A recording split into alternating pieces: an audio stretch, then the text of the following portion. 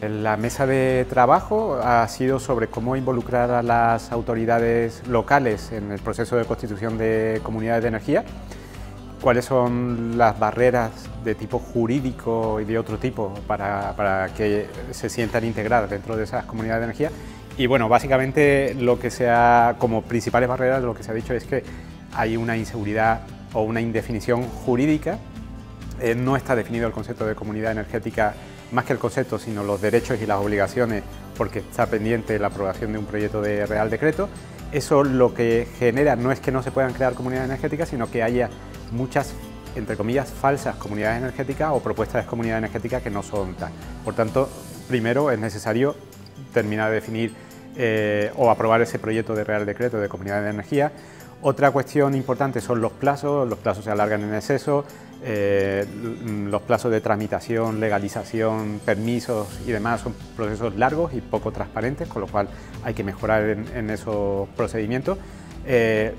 fundamentalmente también es el desconocimiento que existen por parte de las administraciones locales sobre las distintas formas de participar en una comunidad, es decir, no solamente se trata de ceder espacios, sino eh, de poder incluso ceder instalaciones o eh, o ofrecer tributos eh, de, grabaciones fiscales o otro tipo de beneficios. Es decir, hay muchas posibilidades de, que tiene un ayuntamiento para poder participar en una comunidad energética y mm, básicamente es el desconocimiento que existen de, para poder participar. Luego hay que actuar em, convenciendo eh, y explicando realmente a los ayuntamientos qué es lo que pueden hacer.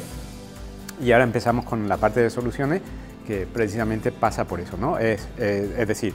a un ayuntamiento eh, le tenemos que explicar bien eh, todas las posibilidades de actuación que tiene, pero lo que hablamos también es que eh, las iniciativas tienen que partir de arriba a abajo, es decir, tiene que haber un compromiso político, ya sea a escala regional, a escala supramunicipal o a escala local, es decir, el ayuntamiento o el responsable supramunicipal o a nivel de región, si no incorporan dentro de su propia planificación estratégica, planificación local, el compromiso de apoyar a las comunidades de energía, difícilmente se podrán articular programas que puedan ayudar a, este. La segunda cuestión que vimos eh, es que eh, hace falta modelos, hace falta formación,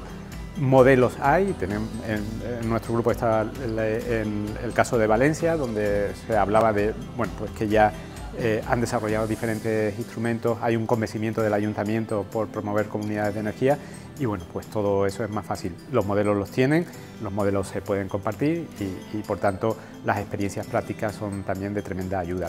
Se ha hablado también de eh, que mm, dar a las comunidades eh, de energía un estatus especial de declaración de utilidad eh, pública, ¿no? declarado de interés público. Eh, bueno, es, algo sobre lo que podemos ir hablando, ya hay iniciativas, asociaciones sin ánimo de lucro declaradas de interés público tienen ventajas a la hora de mm, constituirse como comunidad energética en las sesiones eh, de maniales y patrimoniales, pero bueno, es una cuestión también que, hemos debatido y que seguramente seguiremos trabajando en el grupo de trabajo.